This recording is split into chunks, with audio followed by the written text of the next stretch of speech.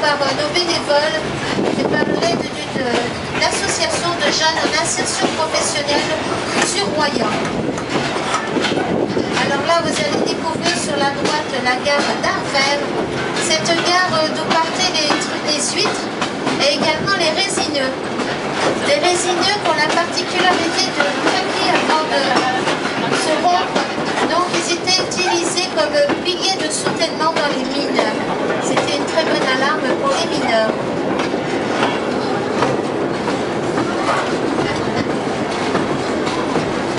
Et les voitures dans lesquelles vous vous trouvez actuellement, eh c'était les anciens wagons qui ont été construits dans les années 1949-1950. Donc ils ont été transformés en voitures.